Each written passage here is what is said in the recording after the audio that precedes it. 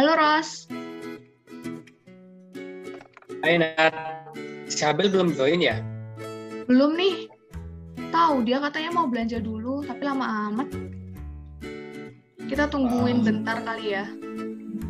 Ya udah, kita tungguin dulu ya.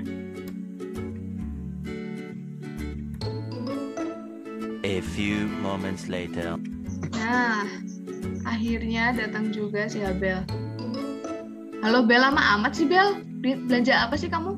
Sorry sorry guys, habisnya aku bingung. Awalnya mau beli snack doang, tapi di sampingnya ada soda. Terus mutusin buat beli soda. Eh di sampingnya lagi ada Indomie. Jadi bingung rasanya, pengen beli semuanya gitu. Nah, itu emang strategi mereka biar kamu beli banyak, Bel. Barang yang banyak dibeli bersamaan itu ditempatkan berdekatan. Kayak gitu emang. Mereka tahu dari mana kalau snack dibeli bareng soda. Nah, jadi gini, Bel. Kejadian yang dialami Habel tadi merupakan contoh dari market basket analysis. Dalam market basket analysis terdapat beberapa istilah.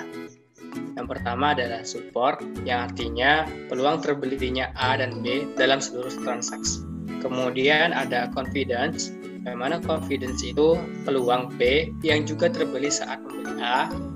Selanjutnya ada coverage. Nah, peluang A ini adalah peluang terbelinya A untuk seluruh transaksi. Kemudian ada lift, yaitu confidence per peluang B atau kecenderungan untuk membeli B setelah A dibandingkan produk lain. Nah, kayak gitu. Bentar-bentar, data pembelian kan banyak banget. Gimana tuh ngitungnya? Nah, lagi-lagi pertanyaan bagus Abel. Yuk kita langsung ke R-nya aja. Jadi, package yang akan kita gunakan ada RLS dan RLS fees. Datanya ada data groceries dari R.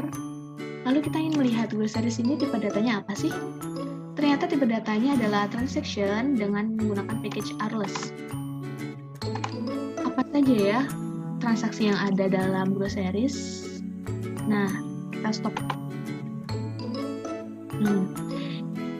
Dibacanya jadi customer ke 5.869 membeli soda, butterbeer, dan liquor. Seperti itu bacanya. Lalu metode a priori yang akan kita gunakan itu seperti apa? Ternyata metode a priori itu menggunakan data transaction. Parameter yang digunakan ada minimum support dengan defaultnya 0,1 dan minimum confidence-nya defaultnya 0,8. Cukup besar ya. Lalu kita gunakan nama belanja dengan a priori groceries. Misal kita ingin menggunakan defaultnya. Nah, didapatkan 0 rules sehingga tidak ada rules yang tercatat. Mungkin karena terlalu besar ya. Inspeknya tentu saja error karena tidak ada rules satupun rules yang tercatat. Misal kita turunkan supportnya menjadi 0,01, confidence-nya 0,8. Ngasih 0, kita turunkan lagi. Nah, sudah terbentuk 25 rules. Kita yang lihat apa saja sih rules yang ada. Kita lihat 5 pertama, itu ternyata ada baking powder terhadap whole milk. Ada juga support, confidence, coverage, lift, dan count-nya. Itu bagaimana sih? Um, interpretasinya. Jadi, peluang terbelinya baking powder bersamaan dengan whole milk sebesar 0,009. Peluang whole milk juga terbeli saat membeli baking powder sebesar 0,522. Peluang terbelinya baking powder dalam seluruh transaksi adalah 0,01 dan kecenderungan terbelinya whole milk setelah baking powder adalah 2,04 kali lebih besar dibanding produk lain. Serta jumlah pembelian whole milk setelah baking powder sebanyak 91 transaksi. Lanjut ke metode pengurutan atau sorting. Misal kita ingin melihat yang mana sih yang liftnya paling besar gitu. Jadi kita sort by lift dengan decreasing through spek misal 10 data pertama.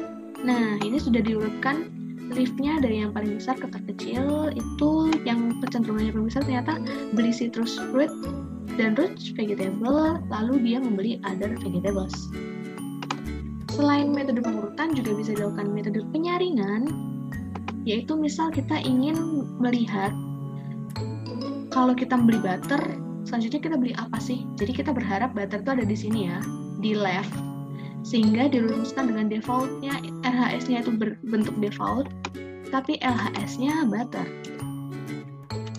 Berbentuk 36 rules, kita lihat misal 6 data terakhir. Nah, jadi kalau kecenderungan paling besar ini ya 2,1 itu kita kalau beli butter kecenderungan untuk dari root vegetables itu yang paling besar dibanding yang lainnya yaitu sekitar 2,1 kali lebih besar. Kita bisa juga melihat plotnya. Nah, di sini legendanya kalau bundaran makin besar, support makin besar, warna makin pekat, lift makin pekat. Seperti itu. Terima kasih. Wah, ternyata data mining benar-benar dekat dengan kehidupan kita ya. Mau sintaksnya dong, Nat? Oke, Bel. Bisa diakses di link berikut ya. Selamat berbelanja. Selamat Belanja.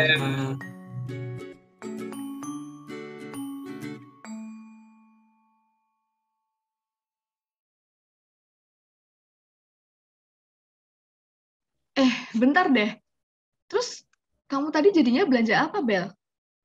Jadinya cuman beli Indomie doang karena akhir bulan.